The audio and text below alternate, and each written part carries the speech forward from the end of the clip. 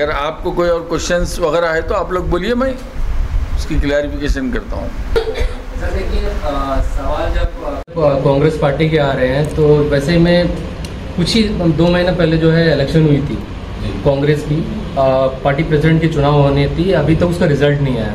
आज आप बात कर रहे हैं और पूरे देश को पता है आज राहुल गांधी जी देश जोड़ो आंदोलन से यात्रा निकाल रहे हैं। यात्रा कर रहे हैं तो वैसे में सारे लोग, ये चाहते कांग्रेस के अंदर में भी ये है कि इससे काफ़ी फ़ायदा कांग्रेस को दिखाई देंगे। मगर आपका कांग्रेस के जैसे कि भाई ने बताया, कांग्रेस के जो यूथ कांग्रेस के जो प्रेसिडेंट है, वो कहीं पे भी युवाओं को लेके यहाँ पे बहुत सारे इश्यूज़ है। अंडमान में बहुत सारे इश्यूज़ है। एक मात्र एमपी है और लेफ्टिनेंट गवर्नर है चीफ सेक्रेटरी का तो हाल क्या है, वो तो सभी को मालूम है। कभी भी कुछ होता है आपका प्रेसिडेंट कांग्रेस के प्रेसिडेंट और कैंपेन कमेटी के प्रेसिडेंट को छोड़ के कांग्रेस में और कोई दिखाई नहीं देते। कभी हम लोग ये भी नहीं देखे कि एमपी साहब और कांग्रेस के बाकी नेता एक साथ में बैठे हुए। आज तक एकमात्र एमपी है। कहने को भी शर्म लग रहा है कि मा- एकमात्र एमपी होते हुए भी एक महिला के ऊपर में एक आरोप लगाया गया उस पर जो है आज तक जो है एमपी साहब का कोई बयान नहीं है। एक बयान अभी तक नहीं है।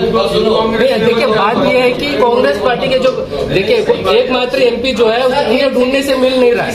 ढूँढने से मिल नहीं रहा है तो हम लोग को एक मौका मिला एक मंच मिला पूछने के लिए कि उस पीड़ित महिला के लिए आपका क्या स्टेटमेंट है? क्योंकि कांग्रेस की तरफ़ से स्टेटमेंट आ चुका है आपका बीजेपी की तरफ़ से स्टेटमेंट आ गया हर पार्टी की तरफ़ से स्टेटमेंट आ गया मगर एकमात्र एमपी आज तक जो है उसके ऊपर में कोई सवाल स्टेटमेंट आया तो एमपी का स्टेटमेंट नहीं नहीं एमपी का देखिए एमपी कांग्रेस से नहीं है एमपी जो है पूरे अंडमान निकोबार के। एक ही चीज़ पूरे अंडमान के एमपी साहब और अभी तक उनका कोई स्टेटमेंट नहीं आया। जिसको चुना है। जैसे आप लोगों से पहले हमारी बात हुई थी तो बताया गया था कि संगठन अपनी जगह पे है और जो चुना हुआ प्रतिनिधि अपनी जगह पे है। कहीं दिनों के इंतज़ार के बाद अब चुना हुआ प्रतिनिधि हमारे सामने आए। कई सवाल हमारे सामने थे जो हमारे मीडिया के पर्सनल सवाल नहीं है। जनता के सवाल थे जो एमपी साहब से करना चाहते थे। आप कह रहे हैं मैं अपनी बात कह देता हूँ आप कह रहे हैं मेंबरशिप लॉन्च होना चाहिए। मैं पूछता हूँ कि जनता का सवाल है क्यों जुड़े? जब एमपी साहब ज़मीन स्तर के मुद्दे जो डिबरेट का मैटर था जो सीएस का जो कांड था पीड़िता का जो हमारे यहाँ पे पावर का इशू है सबसे बड़ा इशू क्या हो गया? लोगों के पास घर में पावर नहीं है और एमपी के पास खुद में पावर नहीं है। तो लोग जाएगा। इसका जवाब कौन देगा? संगठन देगा या सांसद साहब देंगे? देखिए संगठन और संसद साहब अलग अलग नहीं है। ठीक है एक ही है। तो आप लोग अगर बोलते हैं कि हम लोग आंदोलन किया है इसमें इज़ पार्ट ऑफ़ कांग्रेस नहीं अगर संगठन और सांसद साहब एक हैं तो किसी भी आपके धरने में सांसद साहब क्यों नहीं रहते? जब हम यहाँ है ही नहीं पार्लियामेंट्री स्टैंडिंग कमेटी का मीटिंग है पार्लियामेंट की मीटिंग है तो तो कैसा रहेगा इतने सारे इशू हुए आज तक आप कभी सड़क पे उतरे? कौन सा इशू कौन कौन सा एक इशू बता दीजिए जहाँ पे उतरे? कांग्रेस पार्टी हर इशूज में उतर रहे हैं। आप कौन से कौन से दिन ये उतरे हैं? उन्नीस हम लोग थे। एक- एक बात- दो हज़ार उन्नीस से पहले आप चुनाव चुनाव में आने से पहले आप ज़मीन में लोगों से जुड़े थे। जिस तरह राहुल गांधी आज भारत यात्रा कर रहे हैं आप फरारगंज से लेके निकोबार से लेके लोगों के साथ जुड़े थे। लेकिन 19 खत्म होने के बाद आज ये वक्त है कि आपको लोगों ने काफ़ी वक्त पहले से देखा है। डिबेट का जब मुद्दा था हमने रंगलाल जी से सवाल किया था आप उस वक्त में दिगलीपुर की यात्रा में थे। जब पीड़ित महिला का सवाल आया दो महीने हो गए नेशनल मीडिया में आ गया सुप्रीम कोर्ट बात चल गया आपकी तरफ़ से एक छोटा ट्वीट एक प्रेस कॉन्फ्रेंस कुछ नहीं आ पाया। काम कीजिए आपको जो भी बात करना है ना आप अलग से इंटरव्यू कर जो सर आपको तो सर, आपसे सर, इसीलिए तो हम लोग यहाँ पे पूछ रहे हैं सर। आप कहाँ मिलते हैं बताइए। इसका पहले तुमको मिला नहीं। कितना इंटरव्यू लिया? एमपी साहब मैंने खुद आपको नहीं करा, सर। एमपी साहब मैंने खुद आपको पर्सनली मैसेज किया था। आप अपने व्हाट्सएप पे मैसेज मैसेज के बात सुनो। डिब्रेक का बहुत बड़ा मैटर था जो अ, कई हद तक नेशनल मीडिया में गया जो सीएस वाला मामला है बहुत बड़ा इशू है। डेमोक्रेसी कब ब्यूरोक्रेसी बन गया है, वो किसी को पता भी नहीं चला। इस मामलों में आप क्यों नहीं बोल रहे जनता का सवाल हमारे माध्यम से जनता आपसे पूछना नहीं, चाहिए क्या क्या क्या सब कुछ सवाल पूछने बताओ क्या डिब्रेक के मामले में आप क्यों चुपते डिबेट को आपको आप कैसा बोल सकते हैं चुप है? नहीं हम हम लोगों ने कहा नहीं, कि कोशिश सुनिए। बच्चों ने कहा। बच्चों ने कहा सांसद साहब हमारे बीच में नहीं आए। आप हमसे पूछो ना।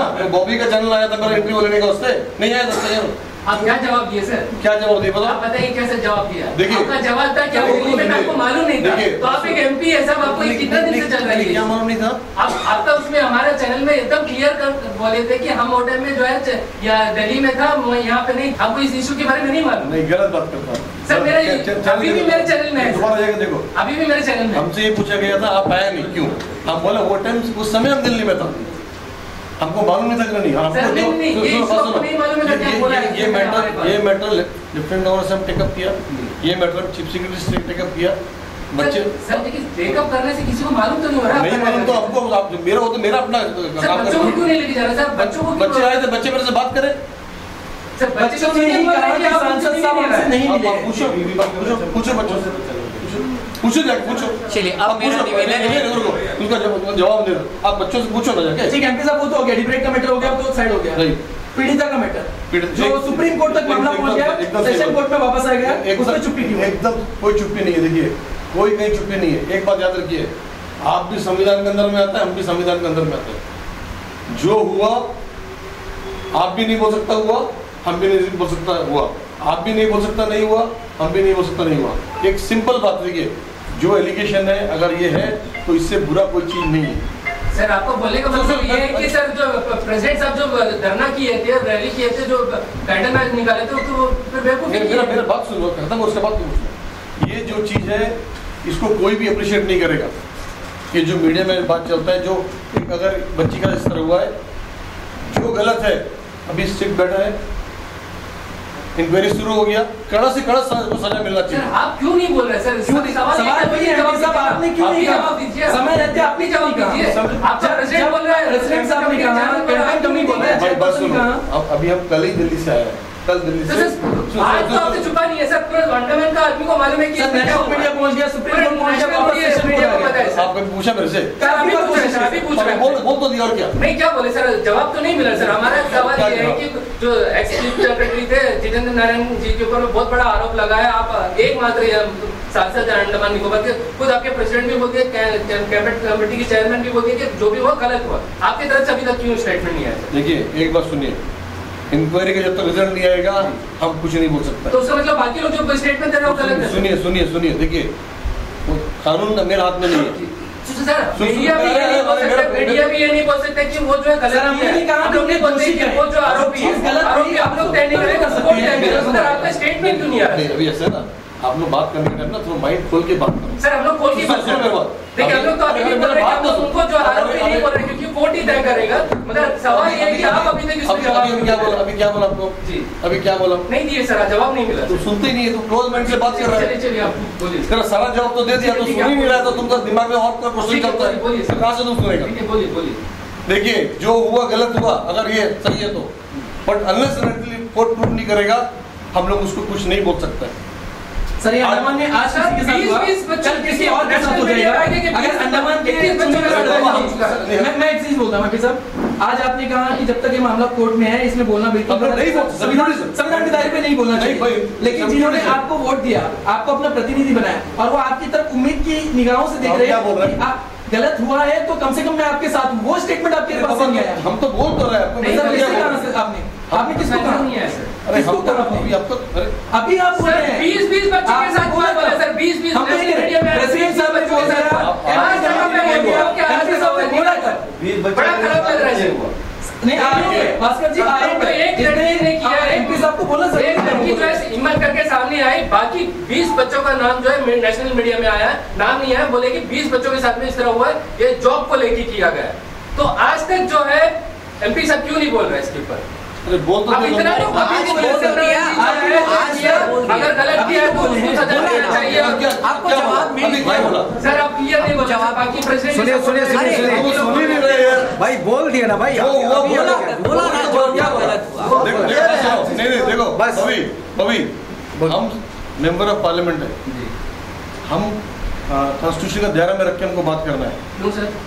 क्यों? संविधान